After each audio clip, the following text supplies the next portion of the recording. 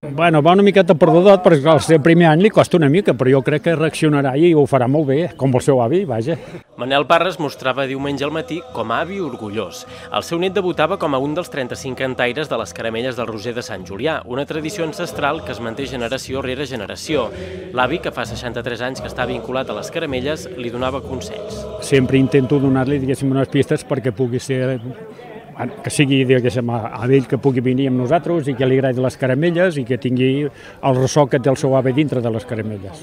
Home, portar el net al costat, això és, una, bueno, és, és algo seriós. Per mi és el més bo que pugui trobar en aquests moments. Ja m'ha agradat sempre això de les caramelles i vaig dir, quan acabi d'estudiar i quan tingui temps i això, m'hi apunto. I no m'ho vaig pensar pas dues vegades i cap a dins. M'està agradant molt, si et dic la veritat. El cas de la família Parra no és l'únic, n'hi ha d'altres en més d'una generació, i això és senyal que la tradició és ben viva.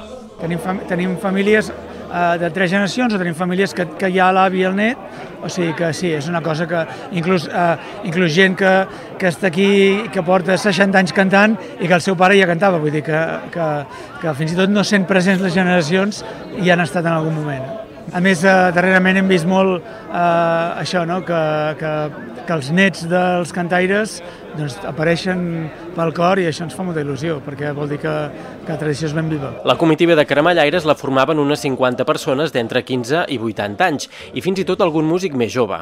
Van esquivar la pluja i al llarg del recorregut es van recuperar algunes peces com la cançó del Terrissaire. La onda la, la, la, la, la, la terra on vam néixer, i un altre que es va sentir de forma diferent era Rosa Vera, que estrenava instrumentació. Hem, hem eh, agafat una peça que cantàvem cada any, que és el Rosa Vera, una peça estrenada l'any 95, que aquest any l'hem harmonitzat, eh, en Sebastià Verdolet n'ha fet una harmonització per orquestra, de forma que el so és totalment diferent.